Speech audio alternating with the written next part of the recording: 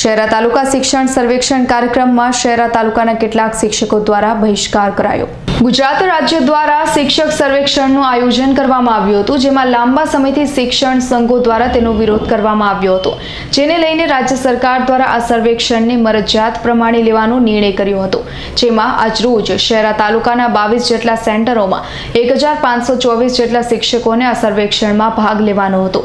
જ્યારે શહેરા તાલુકાના ઘણા એવા સેન્ટરો ખાલી ખમ પણ જોવા મળ્યા હતા. જ્યારે શહેરા તાલુકાના હોશેલાવ શેખપુર સેન્ટર પર ચોર્યાસી જેટલા શિક્ષકોને સર્વેક્ષણમાં હાજર રહેવાનું હતું, જેમાં સત્તાવન જેટલા શિક્ષકોએ આ સર્વેક્ષણમાં ભાગ લીધો હતો. જે અંતર્ગત અણિયાદ કેન્દ્રવર્તી પ્રાથમિક શાળા સીઆરસી સેન્ટર પર શિક્ષક સર્વેક્ષણનું આયોજન કરવામાં આવ્યું હતું, જેમાં એક જ બેન્ચ પર બે શિક્ષકો બેસી શકે તથા એક જ બેસી શકે તેવી વ્યવસ્થા કરવામાં આવી હતી. તેની જગ્યાએ એક જ બેન્ચ પર ત્રણ ત્રણ શિક્ષકો બેઠા હતા, જે આ વિડીયોમાં નજરે પડી રહ્યા છે.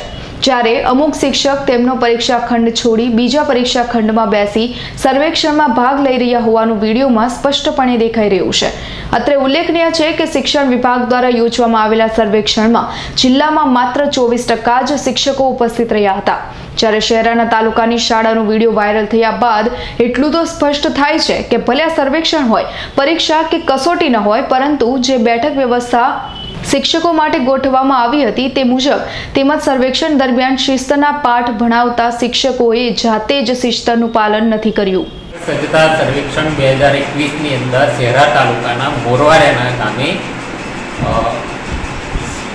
જે શિક્ષકો હતા એમાંથી એક પણ શિક્ષક એગ્યાસી શિક્ષકમાંથી એક પણ શિક્ષક હાજર નથી અને તમામ આ સર્વેક્ષણનો બહિષ્કાર કરેલ છે. તમારું નામ મારું નામ પટેલ નરેશકુમાર વિનુભાઈ.